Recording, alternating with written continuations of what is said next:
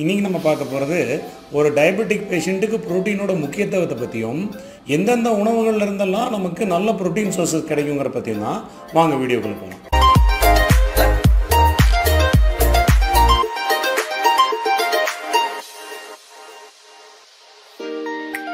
இந்த பதிவினை கண்டுகொண்டிருக்கும் அனைத்து நண்பர்களும் வாழ்க வளமுடன். நானுங்கள் டாக்டர் அருண் கார்த்திக். புரோட்டீனை பற்றி தெரிஞ்சுக்கிறதுக்கு முன்னாடி அதோட பேசிக் ஃபங்க்ஷன்ஸை பற்றி நம்ம முதல்ல தெரிஞ்சுக்கலாம். புரோட்டீன் ஏன் ஒரு டயபெட்டிக் பேஷண்ட்டுக்கு ரொம்ப முக்கியங்கிறத பற்றி அதில் number one protein is the building block of the body அப்படின்னு சொல்லி நம்ம சயின்ஸ் புக்கிலலாம் படிச்சிருப்போம் அஞ்சாம் கிளாஸில் அதாவது நம்ம உடம்பு புதிய சதைகள் உருவாவதற்கும் நம்மளோட பாதிக்கப்பட்ட சதைகளை ரிப்பேர் செய்வதற்கும் மிக முக்கியமாக தேவைப்படுறது புரோட்டீன் தான். நம்ம முடியில் ஆரம்பித்து கணுக்கால் நகம் வரைக்கும் எல்லாமே புரதம் தான். ஸோ இந்த உடம்புல ரிப்பேர் நடக்கணும்னாலோ பழைய டேமேஜ் ஆகப்பட்ட பொருட்கள் எல்லாம் ரீப்ளேஸ் ஆகணும்னாலோ சதைகள் எல்லாம் ரீப்ளேஸ் ஆகணும்னாலோ எல்லாத்துக்கும் புரதம் ரொம்ப தேவை. ஒரு டயபெட்டிக் பேஷண்ட்டோட ஆங்கிளில் பார்க்கும்போது புண்ணு ஆச்சுன்னா ரொம்ப ஆறாமல் இருக்கிறதுக்கு அதே மாதிரி புண்ணு ஆறுறதுக்கு லேட் ஆகிறதுக்கெல்லாம் கண்டிப்பாக புரோட்டீன் நிறைய இருக்கும்போது கொஞ்சம் ஈஸியாக ஆக்கி கொள்ள முடியும். இதனால தான் நிறைய அடிபடுறவங்க நிறைய புண்ணாகிறவங்களுக்கு ஆப்ரேஷன் பண்ண டாக்டர்ஸ் வந்து எக்கு சாப்பிடுங்க சிக்கன் சாப்பிடுங்கன்னு சொல்கிறதுக்கு காரணம் இதுதான். புரோட்டீன் நல்ல சோர்சஸ் இருந்துச்சுன்னா புண்ணாகிறது ஈஸியாக இருக்கும். Wound healing and tissue repair இது number one function number two function hormones and enzymes அதாவது உடம்புல நடக்கிற பல பயோகெமிக்கல் ப்ராசஸஸ்க்கு மிக முக்கியமாக தேவைப்படுறது என்சைம்ஸும் ஹார்மோன்ஸும் சொல்கிற நாளமில்லா சுரப்பிகளும் தான். உதாரணத்துக்கு இன்சுலினே ஒரு டயபெட்டிக் பேஷண்ட் முக்கியமான தேவைப்படுற இன்சுலினே ஒரு ஹார்மோன் தான். இந்த ஹார்மோன் தயாரிக்கிறக்கும் புரோட்டீன் தான். ஏன்னா இந்த hormone is made up of protein protein ரொம்ப முக்கியம். ஹார்மோன்ஸ்க்கு என்சைம்ஸ்க்கும் இது number two number three immunity நம்ம எதிர்ப்பு சத்துக்கு உருப்படியாக தேவைப்படுற செல்கள் பூராத்தையும் தயாரிக்கிறது புரோட்டீன் தான். எதிர்ப்பு சத்துக்கு தேவையான டி செல்ஸ் பி செல்ஸ் மேக்ரோஃபேஜஸ்னு நிறைய இருக்குது அது எல்லாத்துக்குமே நம்ம இம்யூனிட்டி நம்ம எதிர்ப்பு சத்தை பூஸ்ட் பண்ணணும்னு சொன்னால் அதுக்கு நமக்கு புரோட்டீன் கண்டிப்பாக அவசியம். இந்த மூணை தவிர ஒரு ஆயிரம் ஃபங்க்ஷன் இருக்குது புரோட்டீனுக்கு ஆனால் சிம்பிளிஃபைடாக ஒரு டயபெட்டிக் பேஷண்ட் ஆங்கிள்லேருந்து இந்த மூணு ஃபங்க்ஷன்ஸ் தான் மிக முக்கியமான ஃபங்க்ஷன் ஃபங்க்ஷன்ஸ் இப்படிப்பட்ட புரோட்டீன் நமக்கு எதுலேருந்து கிடைக்குதும் நம்ம உணவுப் பொருட்கள்லேருந்து தான். ஸோ அப்போ உணவுப் பொருட்கள்லேருந்து எந்தெந்த உணவுப் பொருட்கள் எல்லாம் புரோட்டீன் கிடைக்குமோ அதெல்லாம் தேடி சாப்பிட்றது நம்ம உடம்புக்கு நல்லது. ஆனால் பாருங்கள் புரோட்டீன் தனியாக வெறுமனே புரோட்டீனாக இயற்கையில் கிடையாது. அதாவது புரோட்டீன் மட்டுமே சாப்பிட்லான்னா அதுக்கு வழி இல்லை. புரோட்டீன் சாப்பிடணுன்னா உணவு மூலமாக ஒன்றா கார்போஹைட்ரேட்டோட சேர்ந்தோ இல்லை ஃபேட்டோட சேர்ந்தோ தான் வரும். கார்போஹைட்ரேட்டும் ஃபேட்டும் நம்ம போதிய அளவு சும்மாவே மற்ற உணவுகளெல்லாம் நிறையா வருது. ஆனாலும் வேறு வழி இல்லை. புரோட்டீன் வேணும்னு நினச்சிங்கன்னா கார்போஹைட்ரேட்டோ ஃபேட்டோ கூட அட்டாச் ஆகி வந்து தான் தீரும். உதாரணத்துக்கு ஒரு சிக்கன் சாப்பிட்டோம்னா ஒரு நூறு கிராம் சிக்கன் சாப்பிட்டோம்னா நூறு கிராமில் இருபது கிராம் புரோட்டீன் இருக்குது ஆனால் ஒரு பத்து கிராம் ஃபேட்டும் சேர்ந்தே வரும். சரி வெஜிடேரியனில் பார்த்தோம்னா ஒரு கொண்டக்கடலை நூறு கிராம் சாப்பிட்டோம்னா அந்த நூறு கிராம் கொண்டக்கடலையில் அதே இருபது கிராம் புரோட்டீன் இருக்குது ஆனால் அது கூட வந்து ஒரு ஐம்பது கிராம் கார்போஹைட்ரேட்டும் சேர்ந்து வரும். அதே மாதிரி ஒரு நடக்கல கிரவுண்ட் நட்ஸ்னு சாப்பிட்டோம்னா நூறு கிராம் கிரவுண்ட்ஸில் அதே இருபது கிராம் புரோட்டீன் தான் இருக்குது ஆனால் அந்த அதே இருபது கிராம் புரோட்டீனுக்கு கூட நமக்கு அடிஷனலாக ஒரு ஐம்பது கிராம் ஃபேட்டும் வரும். ஸோ இப்படியாகத்தானே நம்ம புரோட்டீன் எடுக்கணும்னு நினச்சோம்னா அந்த புரோட்டீன் கூட சேர்ந்து நமக்கு ஏதோ ஒரு மாவுச்சத்தோ இல்லை கொழுப்பு சத்தோ சேர்ந்தே தான் வரும்.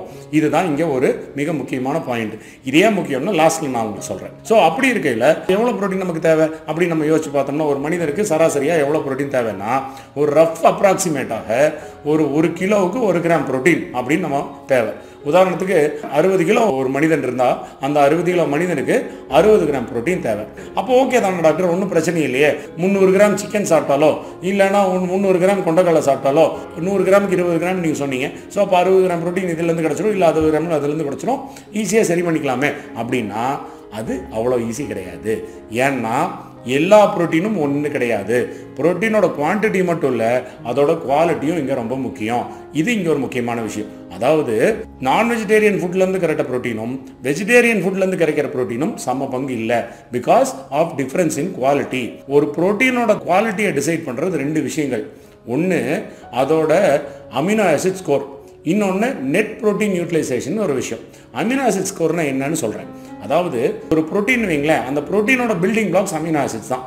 அதாவது இப்போ ஒரு செவர் இருக்குன்னா அது செவரை ஒரு பத்து பதினஞ்சு செங்கல் வரிசையை அடுக்கி வச்சு கட்டுறோன்னு வைங்களேன் அதே மாதிரி ஒரு புரோட்டீனை உருவாக்கணும்னா எல்லா நிறைய அமினோ ஆசிட் சேர்ந்து தான் உருவாக்க முடியும். அமினோ அமிலங்கள்னு சொல்லுவோம். இந்த அமினோ ஆசிட்ஸ் ஆனது நமக்கு வந்து சாப்பாடுலேருந்து கிடைக்கிற முக்கியமான ஒன்பது அமினோ ஆசிட் இருக்குது எசென்சியல் அமினோ ஆசிட்ஸ்னு சொல்லி. மொத்தம் பத்தொன்பது அமினோ ஆசிட்ஸ் அதில் பத்தொன்பதில் பத்து நம்மளாகவே உருவாக்க முடியும் உடம்புல மிச்சம் ஒன்பது உணவுலேருந்து மட்டும்தான் வந்தே ஆகணும்.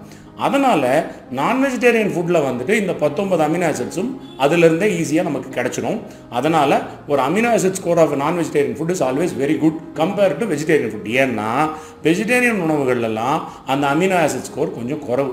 விச் மீன்ஸ் ஒரு கம்ப்ளீட் ப்ரோட்டீன் கிடையாது. சைவ உணவுகள்லேருந்து வர அமினோ ஆசிட்ஸ் எல்லாமே ஒரு சில பற்றாக்குறையோடு தான் வருது. அதுதான் இங்கே ஒரு மிகப்பெரிய ட்ராபேக் வெஜிடேரியன் சோர்ஸுக்கும் நான் வெஜிடேரியன் சோர்ஸுக்கும் அப்போ வெஜிடேரியன் சோர்ஸ்லேருந்து ப்ரோட்டீன் வந்து நமக்கு பிரயோஜனம் இல்லையா? நமக்கு வெஜிடேரியன் ப்ரோட்டீன் நமக்கு யூஸ் ஆகாதான்னா நல்ல வேலைக்கு இயற்கை நமக்கு ஒரு ஆப்பர்ச்சுனிட்டி கொடுக்குறோம் என்னென்னா ஒரு வெஜிடேரியன் உணவில் குறைபாடாக இருக்கிற ஒரு ப்ரோட்டீன் இன்னொரு வெஜிடேரியன் உணவுலேருந்து மாச் ஆகும் ஃபார் எக்ஸாம்பிள் பச்சைப்பயிறுன்னு எடுத்துக்கிட்டிங்கன்னா ஒரு இருபது கிராம் ப்ரோட்டீன் கறிக்குன்னா அந்த ப்ரோட்டீனோட அமினோ ஆசிட் ஸ்கோர் வந்து அறுபது தான். ஆனால் அதுவே பச்சைப்பயிறு நம்ம சும்மா சாப்பிட போகிறது இல்லையே அரிசி சாப்பிட்றோட சேர்ந்து தானே சாப்பிட போகிறோம் அதில் பற்றாக்குறையாக இருக்க பச்சைப்பயிரில் பற்றாக்குறையாக இருக்கிற ஒரு சல்ஃபர் கண்டெய்னிங் அமினோ ஆசிட்ஸுங்கிறது இந்த ரைஸில் அதிகமாக இருக்குது அதனால் இது வந்து அது கூட காம்பன்சேட் ஆகும். அதே போல் ரைஸில் பற்றாக்குறையாக இருக்கிற ப்ரோட்டீனில் இருக்க லைசின்ற அமினோ ஆசிடு பச்சை பயிரில் அதிகமாக இருக்கும். ஸோ இது ஒன்றுக்கு ஒன்று காம்ப்ளிமெண்ட்ரியை வேலை செஞ்சு ஒரு முழு ப்ரோட்டீனாக வெஜிடேரியன் ஃபுட் மாறிவிடறனால தான் அந்த ஒரு நல்ல விஷயம் நடக்கிறனால தான் வெஜிடேரியன்ஸுக்கும் ஓரளவு ப்ரோட்டீன் நமக்கு வந்து சேருது. இல்லைன்னா நம்ம சதைகள் உருவாவதற்கான ப்ரோட்டீனு நமக்கு கிடைக்கிறதுக்கு வாய்ப்பே இல்லாமல் போயிருக்கும். ஆனால் என்ன பண்ணாலும் நான் வெஜிடேரியன் ப்ரோட்டீனில் ரொம்பவே அதிகம். இருக்கிறதுல பெஸ்ட்டு அதுலேயும் நான் வெஜிடேரியன் ஃபுட்லேயும் வந்து ஒரு ரெஃபரன்ஸ் ப்ரோட்டீனாக இருப்பது எக் முட்டை தான். அதனால தான் முட்டையிலோட அமினாசிட் ஸ்கோர் எப்பொழுதுமே வந்து ஏஏ ஸ்கோர் வந்து எப்பொழுதுமே ஒரு எண்பதுக்கு மேலே அதோட குவாலிட்டி ஆனால் மற்ற நான் வெஜிடேரியன் ஃபுட் எல்லாமே எண்பதுலேருந்து தொண்ணூறுக்குள்ள அடங்கும். அதிலே பார்த்தீங்கன்னா வெஜிடேரியன் ப்ரோட்டீன் எல்லாம் அறுபதுலேருந்து எண்பதுக்குள்ளே தான் அடங்கும். ஸோ இது amino acid ஸ்கோரோட quality number one vegetarian is always better than non vegetarian ரெண்டாவது என்பியு நெட் புரோட்டீன் யூட்டிலைசேஷன் இதுவும் குவாலிட்டியை பொறுத்த ஒரு விஷயம். இருபது கிராம் புரோட்டீன் நீங்கள் சாப்பிட்றீங்கன்னா அந்த இருபது கிராம் ப்ரோட்டீனும் உங்கள் சரியாக மாறுதான்னு கேட்டால் கிடையாது. ஒரு பதினஞ்சுலேருந்து பதினாறு கிராம் சதையாக மாறலாம். மிச்சது வேஸ்ட்டாக தான் போகும். இதுதான் நெட் புரோட்டீன் யூட்டிலைசேஷன் நீங்கள் சாப்பிட்ற உணவோட எந்த அளவு வந்து நமக்கு புரோட்டீன் வந்து நமக்கு வந்து உபயோகமாகுது அப்படிங்கிற ஒரு கணக்கு இருக்குது அப்படி பார்க்கும் பொழுது இருக்கிறதுல பெஸ்ட் ரெஃபரன்ஸ் பண்ணி ஏற்கனவே சொன்ன மாதிரி எக் தான். இருபது கிராம் எக் புரோட்டீன் உள்ளே வந்துச்சுன்னா அதில் தொண்ணூற்றி சதவீத தொண்ணூறு சதவீதம் வரைக்கும் நம்ம மசிலாக மாறிவிடும். அதுவே மற்ற நான் வெஜிடேரியன் ஐட்டம்ஸான ஃபிஷ்ஷு சிக்கன்லாம் ஒரு தொண்ணூறு சதவீதம் நமக்கு சதைகளாக மாறிவிடும். மிச்சதெல்லாம் வேஸ்ட்டாக தான் போகும். At the same time vegetarian ஃபுட்டில் பார்த்தீங்கன்னா அந்த நெட் ப்ரோட்டீன் யூட்டிலைசேஷனுங்கிற என்பியும் கொஞ்சம் குறைவு. அறுபதுலேருந்து எண்பது சதவீதம் தான் தசைகளாக மாறும் ஒழிய மற்றதெல்லாம் வேஸ்ட்டாக தான் போகுது.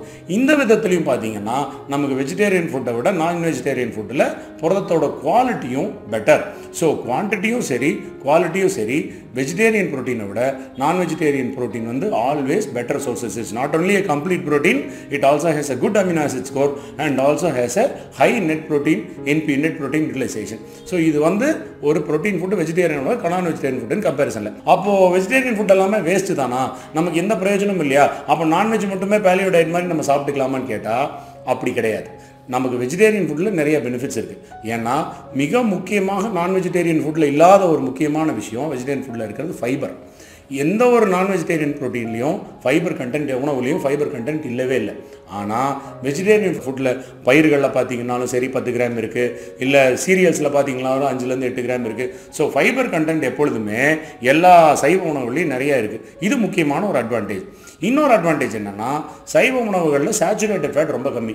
இப்போ நான் வெஜிடேரியன் ஃபுட்டான சிக்கனு மட்டனு இந்த ரெட் மீட்னு சொல்லப்படுற பீஃப் இதெல்லாம் சேச்சுரேட்டட் ஃபேட் கொஞ்சம் அதிகம். ஹார்ட்டுக்கு அது நல்லதில்லை. அட் த சேம் டைம் இந்த சைடில் பார்த்தோம்னா வெஜிடேரியன் ஃபுட்டில் நமக்கு ஃபேட்ஸாகவே இருந்தாலும் ஹெல்த்தி ஃபேட்ஸ் தான் இருக்குது சேச்சுரேட்டட் ஃபேட் மிக மிக குறைவு. ஸோ இந்த வகைக்கு வெஜிடேரியன் ஃபுட்டுக்கும் நமக்கு பெனிஃபிட் இருக்குது சரி இதெல்லாம் ஒரு பக்கம் இருக்கட்டும். இருக்கிற விஷயத்தை நம்ம பேசுவோம். இந்த ப்ரோட்டீனில் பெஸ்ட் சோர்சஸ் என்ன டாக்டர் அதை சொல்லுங்கள் அப்படின்னு நீங்கள் கேட்கும் பொழுது நான் ஏற்கனவே முதல்ல வீடியோட ஆரம்பத்தில் சொன்னேன். ஃபுட்டுலேருந்து ப்ரோட்டீன் வேணும்னா ஒன்றா கார்போஹைட்ரேட்டோடவோ இல்லை ஃபேட்டோடவோ தான் எடுத்துக்க முடியும். வெறுமனே ப்ரோட்டீனாக இயற்கையில் எடுத்துக்க முடியாது அப்படின்னு சொல்லிட்டு. இங்கே தான் ஒரு பிரச்சனை.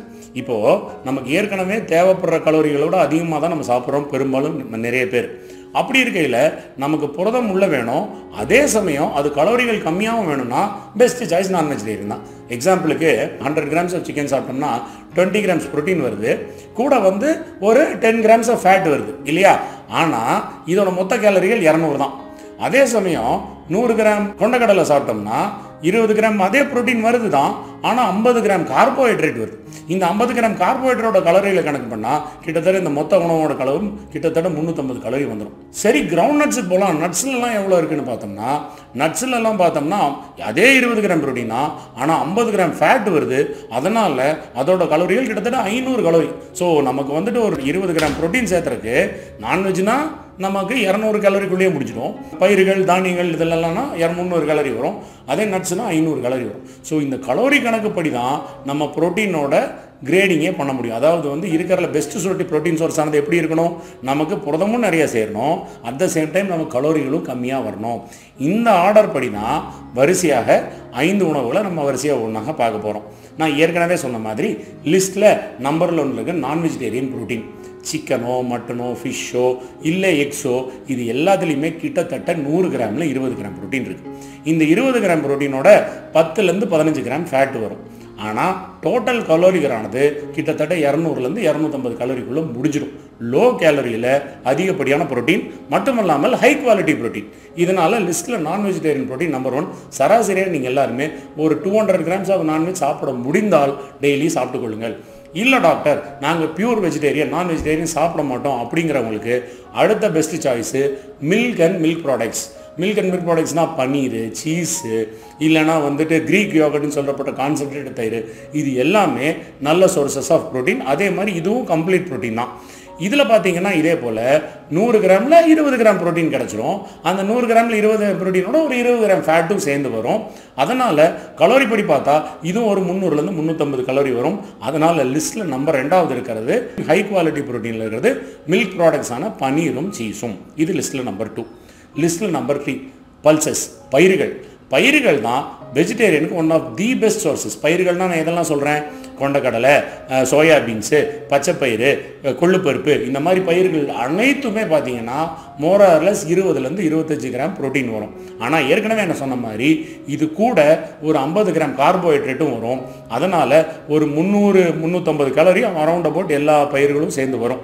ஸோ ஒரு நூறு கிராம் பயிரில் இத்தனை கான்சன்ட்ரேஷன் இருக்குது ஆனால் இதில் ஒரு எக்ஸ்ட்ரா ஸ்பெஷல் சோயா சோயாபீன்ஸ் தான் இருக்கிறதுல பெஸ்ட் ஏன்னா சோயா பீன்ஸில் நமக்கு வந்து கிட்டத்தட்ட முப்பது கிராம் புரோட்டீன் கிடைக்கும். அதில் வந்து கார்போஹைட்ரேட் கம்மி கொஞ்சம் ஃபேட் ஜாஸ்தி. கார்போஹைட்ரேட் வந்து இருபதுலேருந்து இருபத்தஞ்சு கிராம் தான். So இருக்கிறல best source of vegetarian protein பயிர்கள்லேயே ராணி சோயாபீன்ஸு அதனால் முடிந்தால் நீங்கள் வெஜிடேரியனாக இருந்தால் ரெகுலராக ஒன்றா சோயாபீன்ஸோ இல்லை மீல் மேக்கர் மாதிரி சொல்லுவோமே சோயா சங்ஸோ இல்லை டோஃபுன்னு சொல்லுவோம் இல்லையா? சோயா பனீர் அதுவோ ரெகுலராக சேர்த்துக்கொள்ளுங்கள் ஸோ இது வந்து ஒரு healthy source of low cholesterol high fibre high protein content உள்ள ஒரு அருமையான vegetarian source of protein paneer மாதிரி நீங்கள் ஃப்ரீக்வெண்ட்டாக வாரத்துக்கு ஒரு ரெண்டு மூணு தடவை சேர்த்துக்கிறது ரொம்ப நல்லது. லிஸ்ட்டில் நம்பர் த்ரீயில் இருக்கிறது பயிர்கள். லிஸ்ட்டில் நம்பர் ஃபோரில் இருக்கிறது நட்ஸ் நட்ஸ்னால் நான் சொல்கிறது பாதாம் பிஸ்தா முந்திரி அதே மாதிரி விசை பூசணி விதைகள் சன்ஃப்ளவர் விதைகள் எல்லாமே. எல்லா விதைகளுமே எல்லாமே தோராயமாக இதே மாதிரி நூறு கிராமில் இருபது கிராம் புரோட்டீன் தான். ஆனால் ஐம்பது கிராம்லேருந்து ஃபேட் வரும். ஹெல்த்தி ஃபேட்ஸாக இருந்தாலுமே ஹை கலோரி கிட்டத்தட்ட நூறு கிராம் சாப்பிட்டீங்கன்னா ஐநூறு கலோரி அதுலேயே உள்ள வந்துடும் ஒரு நாள் தேவையோட காப்பங்கு அதுலேயே வந்துடுது ஸோ அதனால் நட்ஸ் வந்து நம்ம நிறைய சேர்த்துக்க வேண்டாம். ஒரு லிமிட்டட் குவான்டிட்டியில் ஒரு இருபது கிராமோ முப்பது கிராமோ டெய்லி சாப்பிட்டுட்டா ஒரு ஹெல்த்தி சோர்ஸ் ஆஃப் ப்ரோட்டீனாக அது மாறும். கலோரிகள் கூட இருக்கனால உஷாராக நம்ம இருக்க வேண்டும். அதனால தான் இது லிஸ்ட்டில் நாலாவது இடத்துல இருக்குது லிஸ்ட்டில் ஐந்தாவது இருக்கிறது நம்ம எல்லா தானியங்களும். அரிசி கோதுமை வரகு சாமை குதிரைவாளி மாதிரி தானியங்களும் சிறுதானியங்களும் தோராயமாக எல்லா தானியங்கள்லையும் கிட்டத்தட்ட பத்து கிராம் புரோட்டீன் இருக்குது ஆனால் இதில் பெஸ்ட்டுன்னு சொன்னாக்க நமக்கு வந்துட்டு வரகு. வரகுல வந்து கிட்டத்தட்ட நூறு கிராமில் பத்துலேருந்து பன்னெண்டு கிராம் வரைக்குமே ப்ரோட்டீன் கிடைக்கும். அதனால் வரகு ஒரு நல்ல சாய்ஸ் ஆஃப் சீரியல்ஸ் தானியங்களில் ஒரு நல்ல சாய்ஸாக இது இருக்கும். இவையெல்லாம் தான் லிஸ்ட்டில் நமக்கு ஃபுட்டில் வரக்கூடிய ஒரு ப்ரோட்டீனோட சோர்சஸில் பெஸ்ட்டு சோர்சஸோட கிரேடிங் படி நான் சொல்லியிருக்கேன். ஸோ இப்போ எப்படியுமே ஃபுட்டுங்கிறத நம்ம ஒன்று மட்டுமே சாப்பிட்டுட்டு இருக்க போகிறதுல கலந்து சாப்பிட போகிறோங்கிறனால தோராயமாக ஒரு எழுபது கிலோ இருக்கிற ஒரு ஆள் அசைவம் சேர்த்துக்கிறவா இருந்தால் ஒரு இரநூறுலேருந்து கால் கிலோ வரைக்கும் கண்டிப்பாக அசைவம் சேர்த்துக்கொள்வது மிக மிக நல்லது. டாக்டர் இதில் கொலஸ்ட்ரால் ஏறிடுமா? அப்படின்னு கேட்டாக்க கிடையாது. நம்ம கொலஸ்ட்ரால் ஏறுறதுக்கும் நீங்கள் சாப்பிட்ற அசைவத்துக்கும் பெரிய அளவில் சம்மந்தம் இல்லை. ரெட் மீட்லாம் சாப்பிட்டீங்கன்னா சேச்சுரேட்டட் ஃபேட் கொஞ்சம் சேரும்.